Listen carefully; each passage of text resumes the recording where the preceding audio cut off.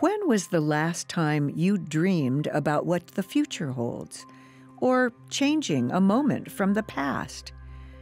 These are questions that human beings have thought about since the beginning of our existence.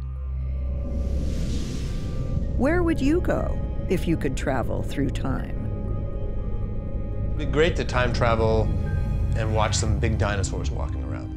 It'd be great to time travel into one of the very exciting moments where there are great works of art being made, where great discoveries were being made. Watch the original Olympics.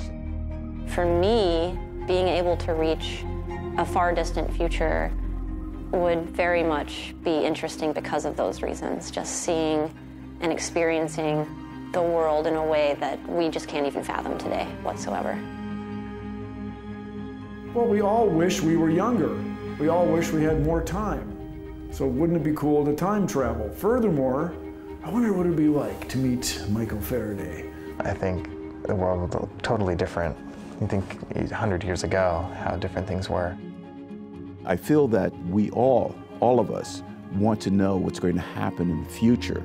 And all of us would like to know what would happen in the past to either see things that happened in the past or to alter things in our life. You can say, I don't believe this desk is here, but then you're saying, I don't want to believe facts. That's a fact. Time travel is real. Join us in a mind bending exploration of time travel, its origins, its evolution, and its influence on how we perceive time itself.